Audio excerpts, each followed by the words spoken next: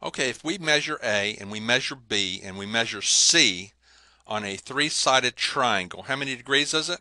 You add them up, you get 180 degrees, okay? All right, how about a quadrilateral? And uh, we'll draw a square, but let's draw it kind of like a diamond, okay? And then forget for a minute that there are 360 degrees here. Four right angles is 360. We don't want to remember that right now. Just say any quadrilateral, okay? So let's draw a line from here to here. We end up with how many triangles? And each one is 180, okay? So we started off with four sides, okay? And it turns out if you take away the number 2 from that, you'll get how many triangles there are, okay? Each triangle is worth 180 for a total of 360. Remember, we are subtracting 2, all right? Let's go to a five-sided figure, a pentagon. How many sides? One, two, three, four, five. Okay. Draw a line here. They got a triangle up there, don't we? Draw a line across here. That gives you 180 degrees here and here for each one of those triangles. We have a triangle here and a triangle here. How many triangles? One, two, three.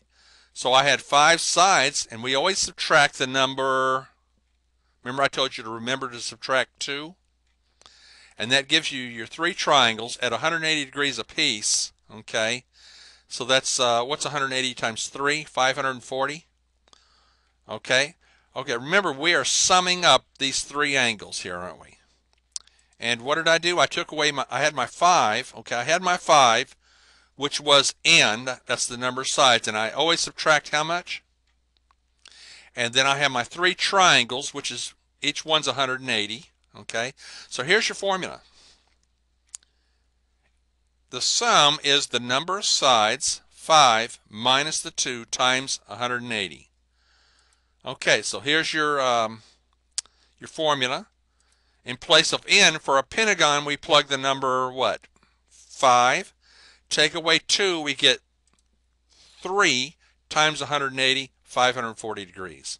Move along now to the hexagon. Hexagon has how many sides?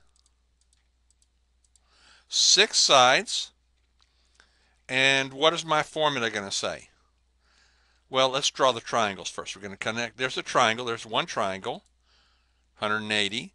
There's another triangle, 180. I go from right here to straight over here, another triangle, 180. And you have four triangles, don't you?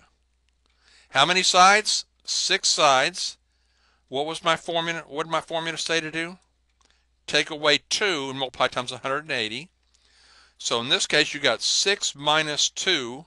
6 minus 2 is what? Because it's hexa, meaning 6 minus 2 is what?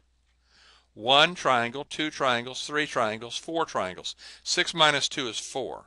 Okay? So you're going to have, in place of n, you plug in the 6. Take away the 2 tells you how many triangles you have. Each triangle is 180 for a total of 720 degrees.